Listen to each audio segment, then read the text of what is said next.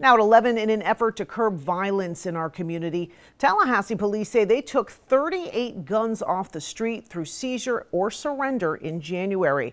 That same month, at least five people were shot and killed in Tallahassee. And ABC 27's Shanice Archer is tracking the latest effort to keep people safe in our community.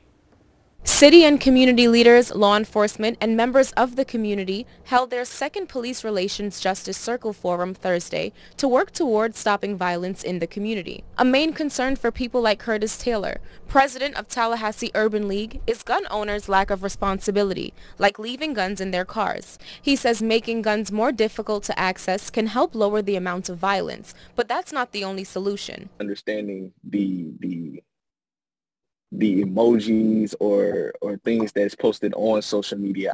17-year-old Jalen Ezekiel is a senior at Florida High and the president of the Omega Lamp Lighters.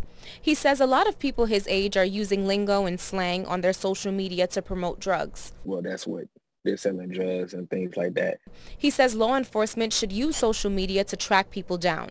Drug dealers need to know they can be found and go to jail. Teaching the kids uh, what you're posting on social media, we do see and we we we understand what you're doing. Curtis Taylor says people are selling drugs because they can't find any jobs based on their background. Someone might hire them, but the moment uh, they found out that they was incarcerated, uh, they let them go. At the forum's next meeting, they say they plan to continue the conversation and come up with a plan to stop drugs from entering the community. In Tallahassee, Shanice Archer, ABC 27.